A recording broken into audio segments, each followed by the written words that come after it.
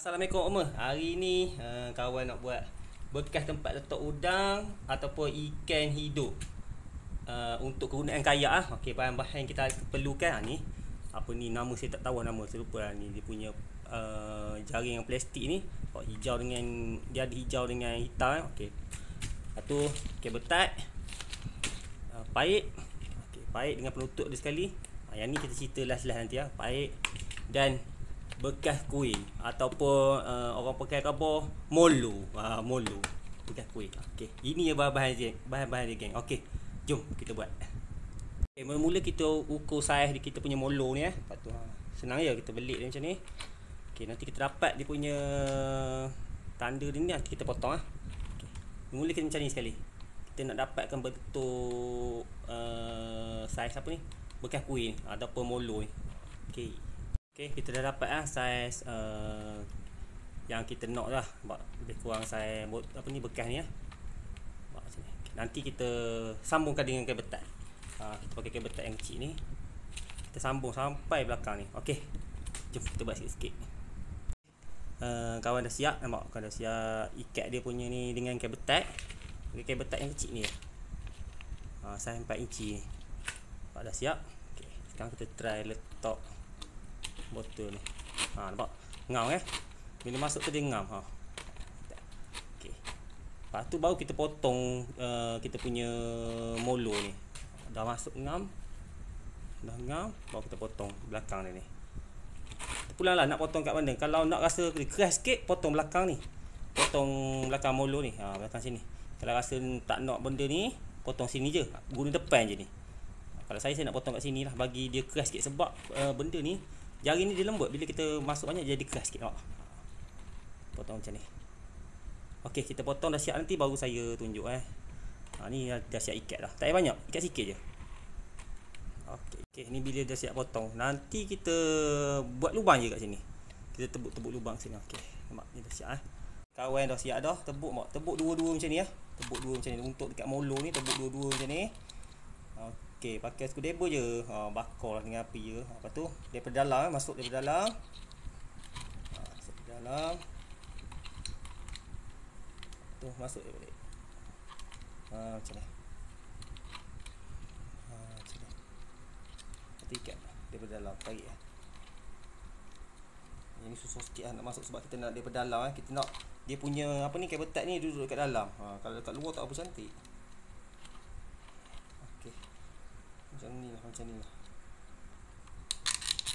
Hmm, ikat eh buat. Nanti kita buat semua.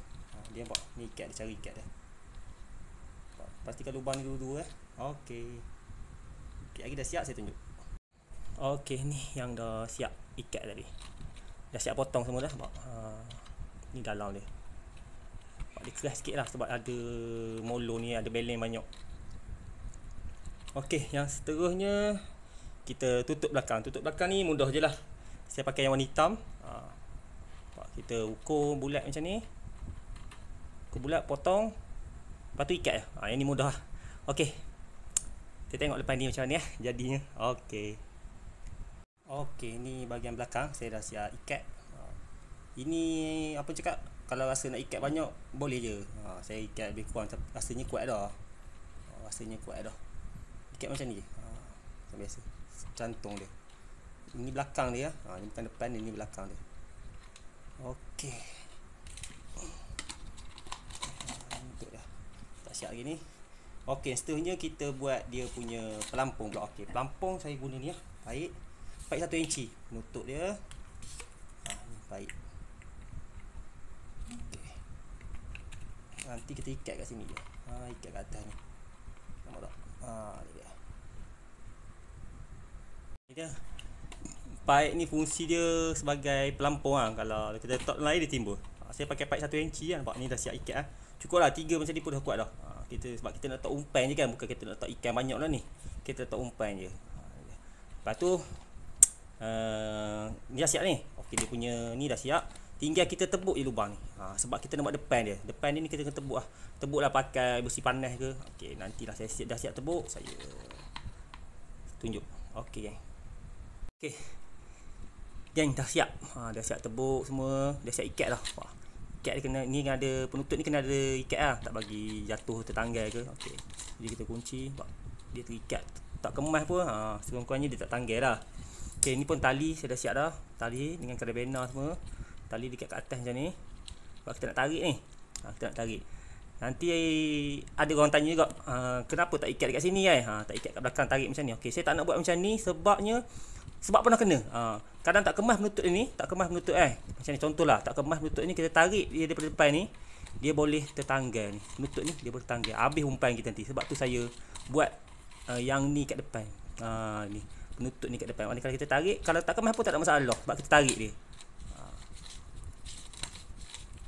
Okey, dah siap ni geng. Dah siap kita punya bekas umpan hidup untuk ikan uh, untuk udang. Ha, hidup ah udang hidup Mudah ya geng. Ha, mudah je. Ha, boleh buat eh. Okey semua.